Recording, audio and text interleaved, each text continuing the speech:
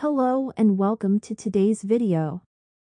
In this video, we will talk about PID controllers.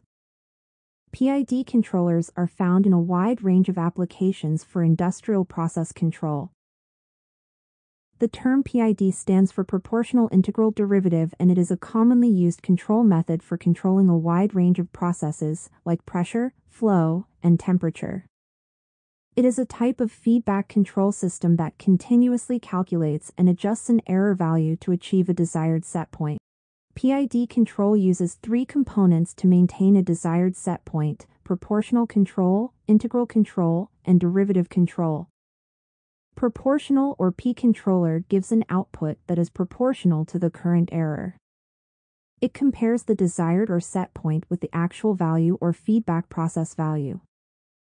The resulting error is multiplied with a proportional constant to get the output. A proportional controller provides stable operation but always maintains the steady state error.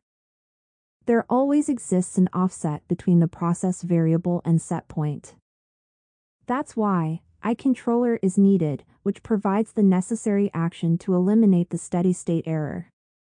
It integrates the error over a period of time until the error value reaches zero.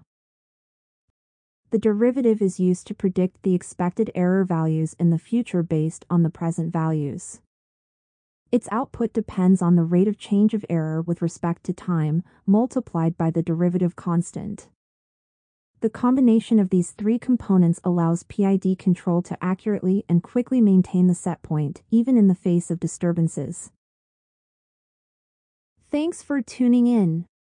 If you liked this video, hit the like button and don't forget to subscribe for more content like this.